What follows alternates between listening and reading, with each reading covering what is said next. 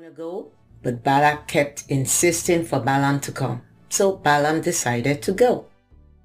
Now, God was angry that Balaam went and sent the angel of the Lord to oppose him.